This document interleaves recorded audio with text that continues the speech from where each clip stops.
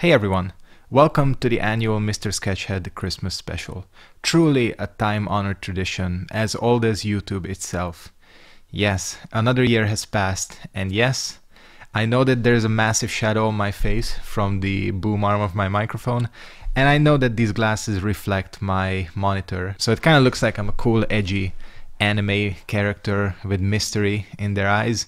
But listen, we have passed another year almost. We still got quite a few days until New Year. Um, and what a year this has been. Listen, I know that every fucking YouTuber is gonna be talking about, oh, this has been the toughest year with COVID and it's been so sad, blah, blah, blah.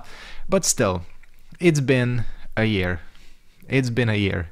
We live in a society and it's been a year. And yeah, still, I made it out okay.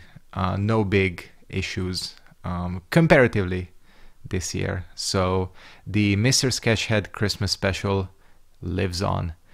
What are we gonna do this year? We are gonna do something special. I was just looking through my shelves right there, which you can't see, because I still own physical games for PS4. And I just happened upon my copy of Dark Souls 3, and here it is. I discovered that I have the day one edition.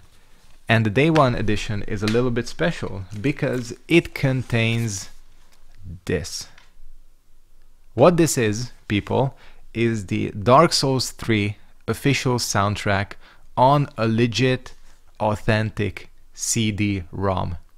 A CD. Dark Souls 3 came out in 2016, if I'm not mistaken, and they actually thought that they could print something on CD and include it with the day one edition. Quite brave of them, honestly, quite brave of them.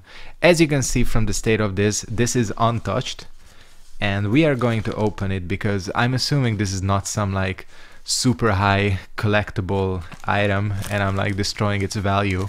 I could I could become a millionaire from this, but yeah, this is it. The Dark Souls 3, make sure to actually center it.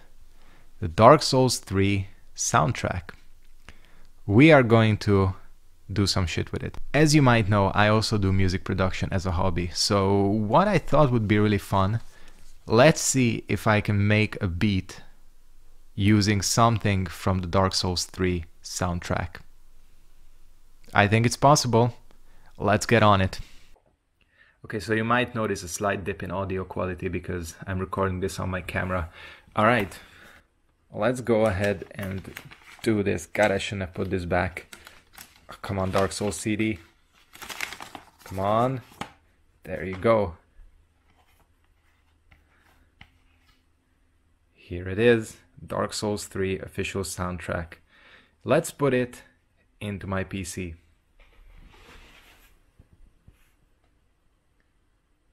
Hold on a second. Hold on a second.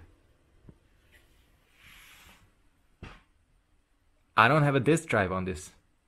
Alright, I'm going to have to switch up the angle here. I'm gonna have to rely on the old YouTube to get my soundtrack needs.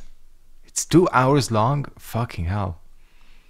Okay, so I had to listen through uh, to bits of the Dark Souls 3 OST, and I've determined that the most beat-worthy or sample-worthy song is definitely track 12, which is Dancer of the Boreal Valley. I mean, I basically thought that this was gonna be the one. The thing about the Dark Souls 3 soundtrack is that it's like very dense instrumentally.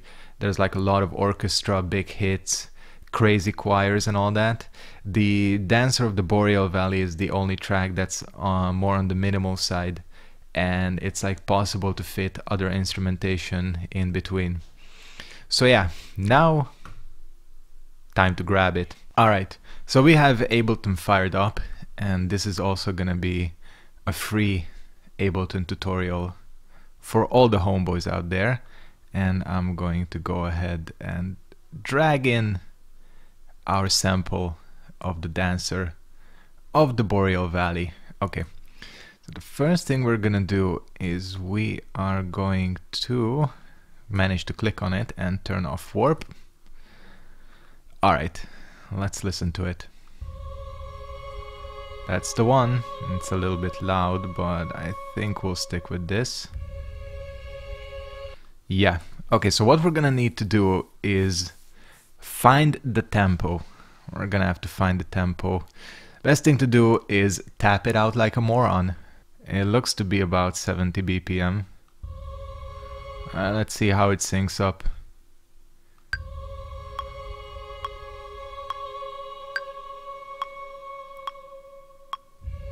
Nah, not quite. Okay, let me fiddle with this a little bit more.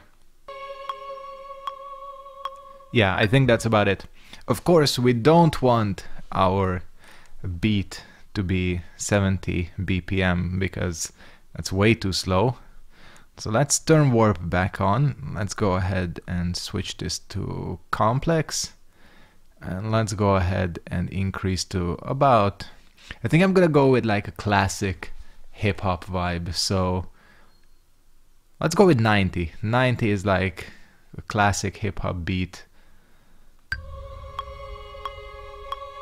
As you can hear, Ableton very kindly has warped the sample to match 90 BPM.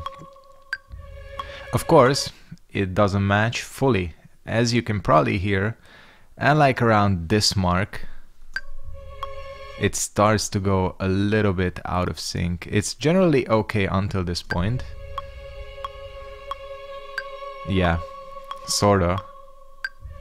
Even at this point, it starts to go a little bit out of um, out of beat. So we are gonna have to warp it. Truly the best Ableton feature out there is the warping feature. All right. So let's bring this a little bit closer here. That should be okay. I think we are generally good. Cool. I think we got it on beat. The honest thing is I'm probably gonna use these initial sections. I don't know if I'm gonna... Yeah, again, that section sounds dope, but as I talked about earlier, these sections are very, very dense instrumentally. So it gets a little bit difficult to add other things to it. Okay, let's see what we can do with this.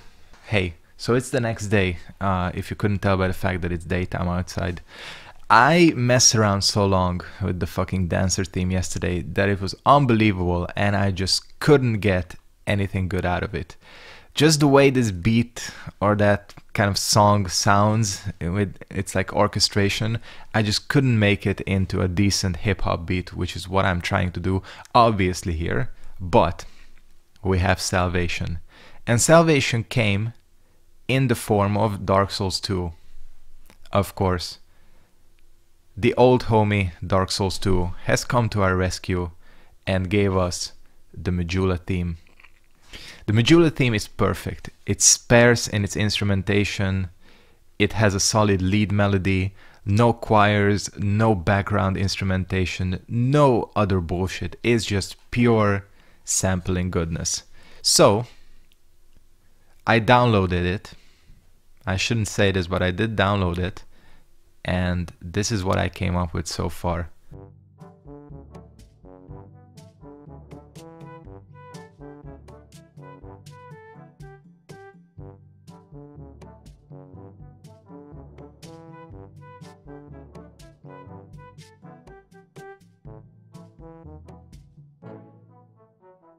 So yeah, that was just a little kind of fun video. Thought I would show something else other than gaming. I've done music two years ago. Maybe that was a New Year special, not a Christmas special, whatever. That was fun. I thought I would do music again. And, you know, just to self promote, if you go to the link in the description, you will be able to find my Instagram where I do post a lot more music, especially now starting in January.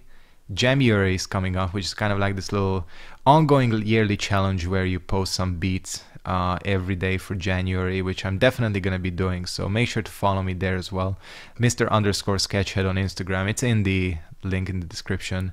So yeah, thank you guys very much again for this year. I know probably there's gonna be a New Year's video as well where I'll reiterate the same points, but it's been a great year for my channel. Uh, there have been some slow patches um, because of COVID. I was really busy at work sometimes, but I feel like especially now towards the end of the year, it kind of stabilized and I'm streaming again. I'm uploading again. I'm really enjoying the games that I'm playing. So the channel should be back on track coming next year. So I'm gonna go ahead and wrap it up here. Thank you guys for everything this year, for watching my streams, for watching my videos, liking, commenting. Truly, truly appreciate you guys. And yeah, hopefully next year is gonna suck less. Thank you very much again. Make sure to like, comment, and subscribe. Turn on post notifications as always. And yeah, between Christmas and New Year's, I'm gonna be uploading and throughout the new year as well. Peace out, take care, and see you. Goodbye.